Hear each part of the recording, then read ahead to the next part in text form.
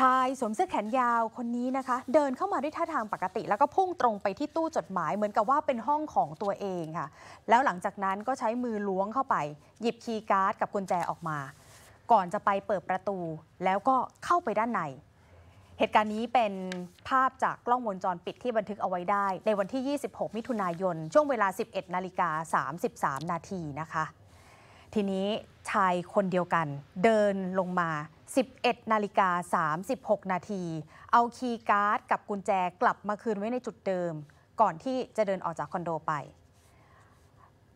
เรามาดูวันต่อมาค่ะ ก็ทำพฤติกรรมเหมือนเดิม คราวนี้เป็นช่วงเวลากลางคืน 20 นาฬิกา 42 นาที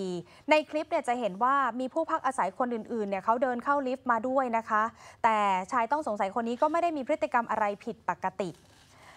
และหลังจากนั้นค่ะ แค่ 4 นาทีที่ผ่านไปก็กลับลงมาพร้อมกับเอาคีย์การ์ด และกุญแจไปคืนใส่ไว้ในช่องจดหมายช่องเดิมค่ะ เป็นแบบนี้นะคะจนกระทั่งเจ้าของห้องพัก ซึ่งเป็นตำรวจระดับสารวัตรเขาเริ่มรู้ตัว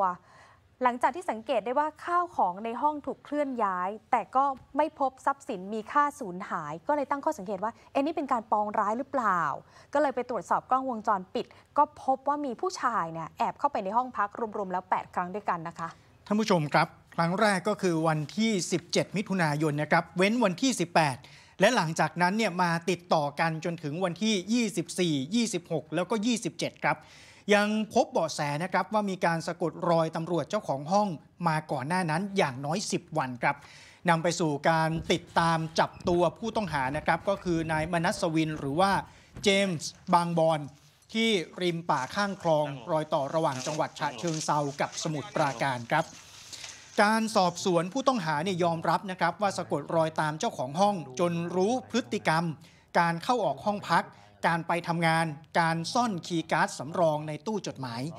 เขาอ้างว่าเป็นเพราะว่าตนเองนั้นตกงานครับทางบ้านภรรยาไม่ยอมรับ ก็เลยต้องเร่ร่อนไปอยู่ตามสถานที่ต่างๆนะครับ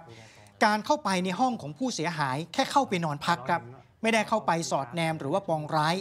แต่ที่น่าสังเกตก็คือ ขัดกับข้อมูลเวลาจากกล้องวงจรปิดนะครับที่พบว่าบางวันใช้เวลาเข้าไปแค่ 3-4 นาทีเท่านั้นครับ กรณีนี้นักอาชญาวิทยามองว่าผู้ก่อเหตุมีวิธีคิดไม่ปกติ ซึ่งอาจจะเป็นการซ่อนจุดประสงค์ที่แท้จริงหรือไม่ครับ ตั้งตั้งใจประสงค์ต่อทรัพย์ประสงค์ต่อชีวิต ก็จะไม่ทำรูปแบบแบบอย่างนี้ครับ ประสงค์ต่อทรัพย์เข้าไปครั้งแรกก็หรือคนทรัพย์สินได้ไปก็หนีไปเลยครับค่ะประสงค์ต่อชีวิตก็แน่นอนเข้าไปแฝงตัวหลบซ่อนตัวแล้วก็ทำร้ายนะครับอืมอันนี้เข้าไปถึงแปดครั้งเนี่ย แสดงว่า ไม่ไม่แน่ใจว่าวิธีการคิดของเขาเนี่ยก็ก็แตกต่างจากคนทั่วไปครับ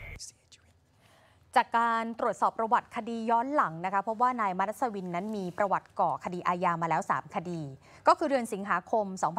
2562 ถูกจับข้อหามียาเสพติดไว้ในครอบครอง ในพื้นที่สอนอหลักสองต่อมาธันวาคม 2566 ก่อเหตุลักทรัพย์ ขโมยซองผ้าป่า ในพื้นที่สอนอท่าข้าม พฤษภาคม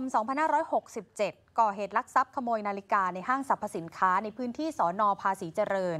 และล่าสุดก็คือเกิดกรณี